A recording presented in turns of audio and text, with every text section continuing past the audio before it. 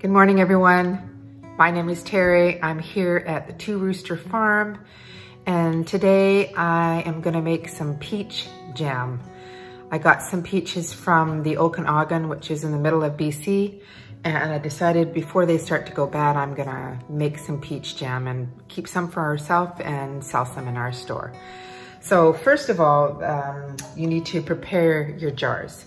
So I have a, a, a, bunch of jars and you just, you can either use your old jars or you, and buy sealer, the rings and the sealers, or I, I've used all my jars. So I'm gonna be using brand new jars. And so of course, all the sealers are all attached.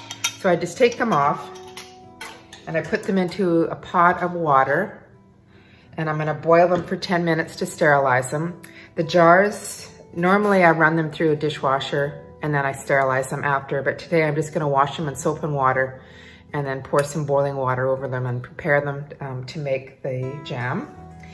I have a big bag of peaches that last night when I had time, I actually peeled, peeled the skin off them and cut them in sort of portions, I need to cut them smaller. They will kind of um, get smaller as you cook them, but I think it's a good idea just to cut them a little bit smaller, so I'm gonna do that.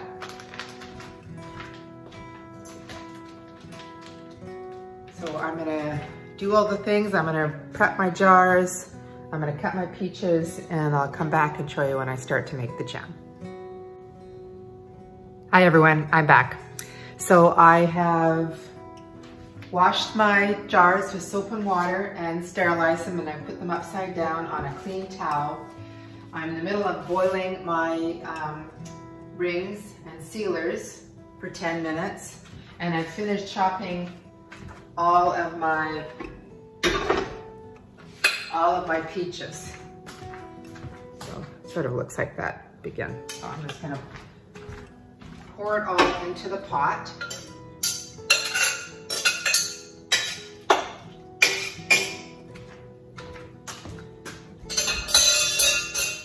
Today I'm using just the Bernardin, Bernardin um, Pectin Classic. It's not one of my favorites. It's during COVID, I'm having a hard time finding jars, finding pectin, because I think everybody is canning. So my favorite is actually this Pomona's Universal. It's um, It gives you the option of using part honey, so you're not using so much sugar. The Bernardin it's a crazy amount of sugar. It's not diabetic friendly. But um, you need to use the proper amount of sugar or you, your jam doesn't set. And so it's kind of a waste. So for now, this is what I'm gonna use. I'm gonna use this uh, Bernardin Classic Pectin. So we've got all the peaches in the pot and we're gonna add I have enough peaches to be able to triple the recipe. They say sometimes that's not a good idea to do more than one batch at a time because sometimes it affects whether the jam's gonna set. I'm gonna try it because it's a lot more work to have to make three separate batches of peach jam just to make sure it's gonna set. So I'm gonna be using three of these, these packages. Sorry about that, I just had a knock at the door and it was um, our tenants upstairs and they brought me this. it's so awesome. It's so great. People know that we're the Two Rooster Farm and that I love to collect chickens and roosters. And so they, they found this in a thrift store. So thank you very much, Alex and Danielle. That was awesome. Very nice. I'm gonna have a special place for this. All right, so I was talking about, I've got the peaches um, in my pot.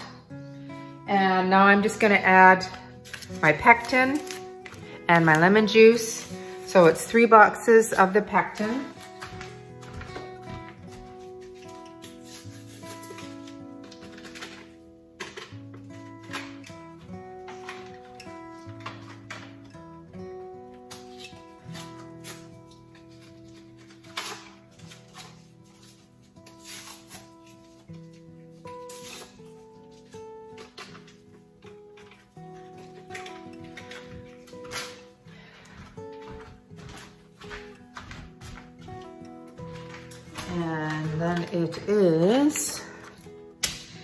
Two tablespoons of lemon juice. So multiply by three, six tablespoons of lemon juice.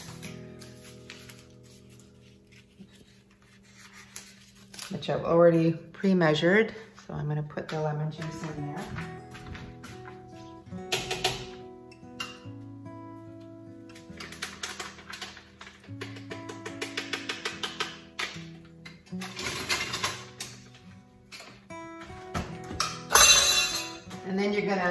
Stir this up.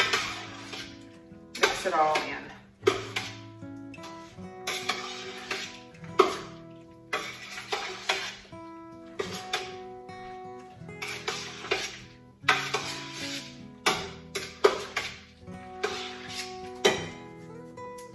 Move the sugar away from the heat.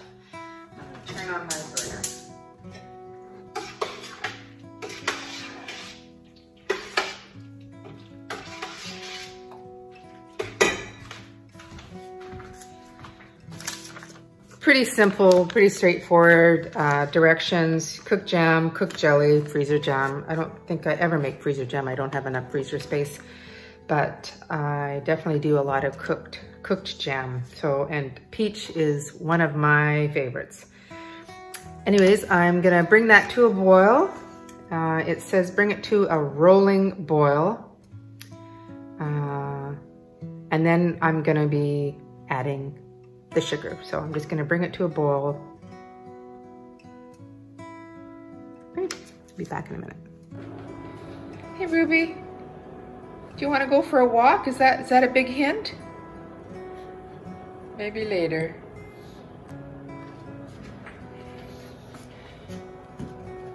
Good girl. Okay, I'm back. I've moved the camera so you can see basically starting to uh, boil. I'm gonna add, it says a half a teaspoon per batch, so one and a half teaspoons of butter, and that reduces um, the foaming. So I'm just gonna add a little bit of butter to the recipe and stir that in. As you can already see that it's sort of starting to foam a bit. Peach jam is one of my favorites. I think my second favorite is rhubarb, which I just made a few weeks ago. Um, and sometimes I like to change it up a bit. So not just the regular um, peach jam, I like habanero peach jam. So it's just basically the same recipe. And then I add three chopped habanero peppers um, into the mix. You can remove the seeds to have, so it has less heat, but I like to put them in.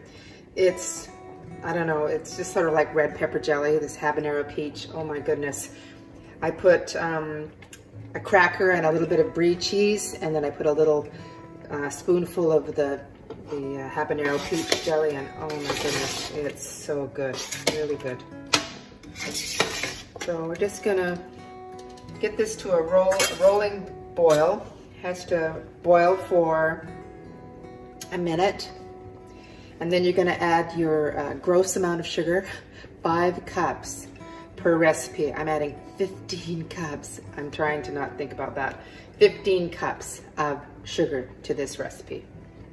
But you gotta do what you gotta do. If you don't add the proper amount of sugar, you're gonna have like, you're gonna have like pancake syrup because it's not gonna set.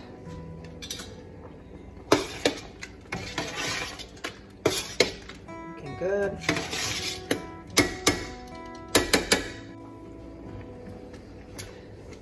So it's just about ready to add the sugar. I'm gonna use my potato masher and I'm just gonna mash the fruit a little bit just so that they're a little bit smaller.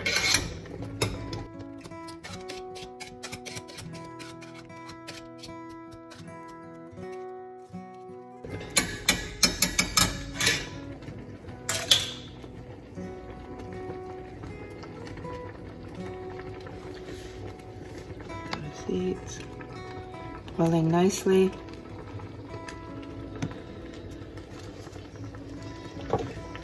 I'm gonna add my sugar.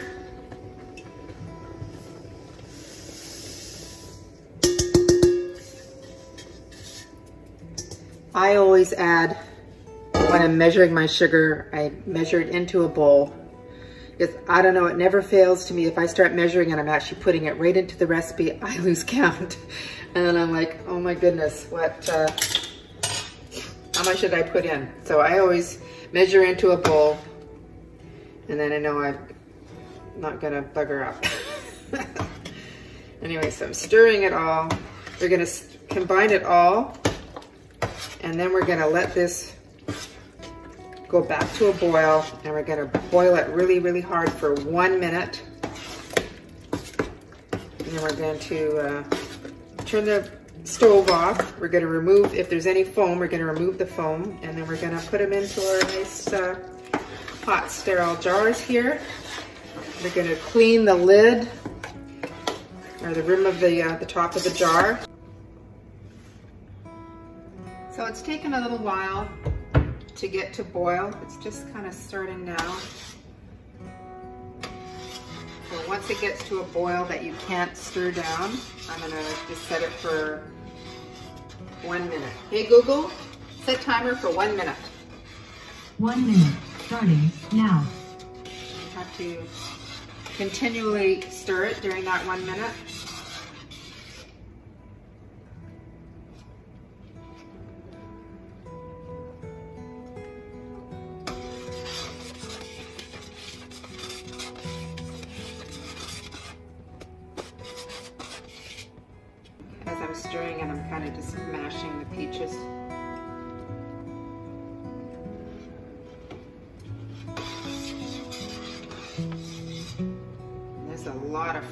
Here. I'm glad I added the butter. I can't imagine what it would look like if I hadn't.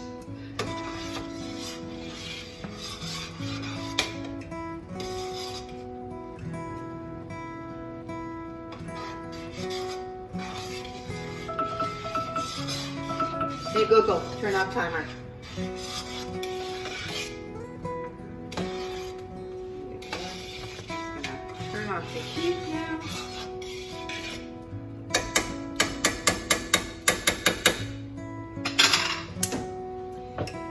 I've started, I should have started this sooner. Um, I have my water bath canner. You can sort of see it. Oh, there we go. Used to be my mom's. Thank you, Mom. Mom doesn't can, can anymore. Mom is 82. So I don't blame her. I just give her the jam now. Uh, yeah, so I filled it half full or depending on what size jars. If you have larger jars, you don't want to put too much water, otherwise it overflows. So I probably filled the bottom part, it's two, two parts, the top and the bottom. And then you will fill your jars, wipe them clean, and then set them into your canner. And when this is boiling, I'll put the lid on and I'll time it for 10 minutes in the water bath. Um, and then I'm gonna take it out and set it on a rack to cool. You'll hear um, little pings on the lid. That means that the jar is sealing. So that's a good good sound. It's not like your jar's exploding. It's like it's actually sealing. And you can tell uh, when you've uh, when they're cool, that you'll be able to see that the little indent in the in the middle is is flat, and you and you can't push the lid and it, it doesn't move. It's it so that that's when you know it's sealed. So I'm gonna start now to fill my jars. It's very hot. Well, first of all, I'm gonna get some of this foam off here. It's a little bit more foam than I want. Just try and, you can sort of see there's a lot of foam on here. You don't really want that in your, in your jam.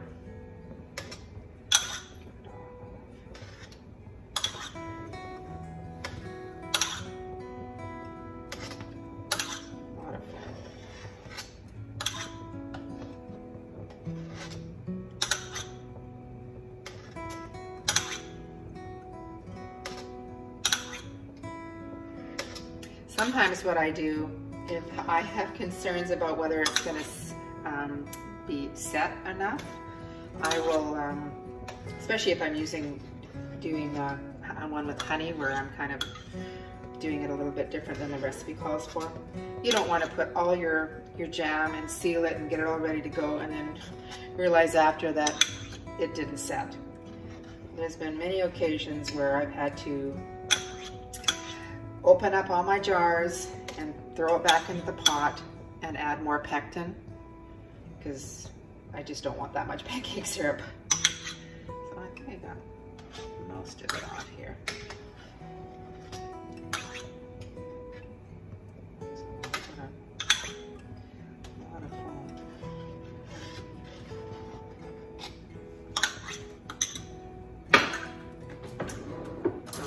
what I am going little bit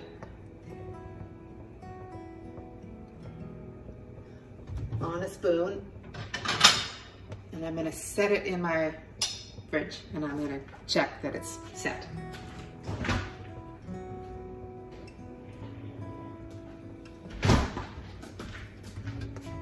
And that's sort of how much foam I got off. Lots.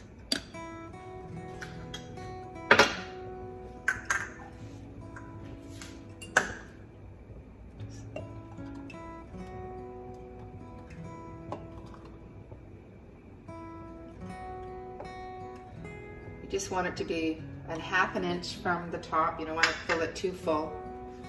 And, uh, I'm gonna get a hot spot.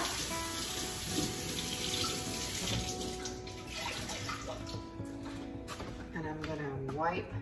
It's very hot. You gotta be careful when you touch the jar. I'm gonna clean the top of the jar so there's no peach residue. Put my sealing lid on tighten it, and I'm gonna set it in my water canner.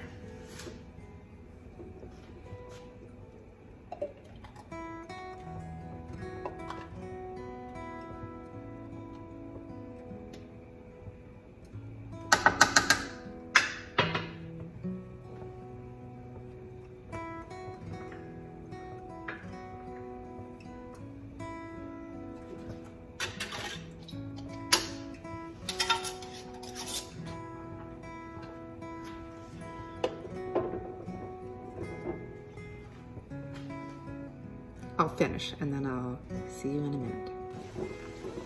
So I'm back again. I've got uh, enough jars filled to fill the first water canner. So I've got them on there. I'm gonna put my lid on top and it's boiling. Hey Google, set timer for 10 minutes. Okay, 10, 10 minutes. I found now. that when I was putting my mix into the jars, um, the fruit rises to the top. And so I decided that I didn't, they, I don't think the peaches were small enough and they were all floating on top. So I just got my immersion blender, my little hand blender, and I just went in there and just mixed it around to get them smaller and then it the whole jar fills up like it doesn't look like you just got peaches on the top and so it, it was a lot better so that's that's something you can do if you if you realize that you when you're putting them into the canner that it looks like all the fruit is floating on top. Doesn't look as nice. And I took out my little teaspoon of jam and it's gonna set. It's not falling from it. Mmm. Mmm. Really good. Anyway, so I'm gonna let this um, boil for 10 minutes. I'm gonna finish continuing to fill the rest of my jars. And uh, yeah, so that's how easy it is to make jam. Right, so the timer has gone off. Carefully lift this lid off. Those down. And just use your oven mitts. And drop them. There it is, very hot, and I'm setting it on my rack very, very hot. a good idea to actually just get a towel and daub the water that's on top of the jars. Because when you pick your oven mitt up, the hot water soaks in the gloves and it makes it more difficult to get them out. So I'm going to set these here on the rack. I think I got 20, 20 small jars of jam, so that's awesome. And then I'm gonna put my next load in and, and do that for another 10 minutes. So I'm back again. I have just a, another minute or two uh, boiling the second batch. I've uh, have my jars over here. Most of them are sealed. You can sometimes see by touching it, it actually sealed it. Okay. This one's sealed yet. It might take a little while. But you can. It's perfectly flat. There's no little little bump on it. You can tell on, maybe you can't tell, but you can maybe tell on this one. You can see how it's not, it's not sealed yet. Yeah, this one has. So, fairly simple to make jam. Just a lot of prep work, you know, making sure your jam, your jars are sterilized and your lids are sterilized.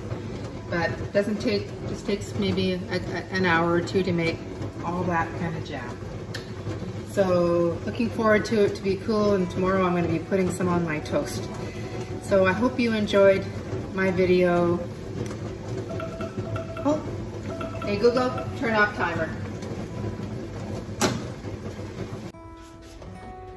So that's it for today. Thank you for watching uh, the process of making some peach jam. Um, I hope you learned something. Uh, it's fairly simple recipe, but look what you can make in two hours. Wonderful. Anyways, every Saturday my goal is to put out a new video. So please subscribe and until next time, this is Teri here at the Two Rooster Farm. Bye for now.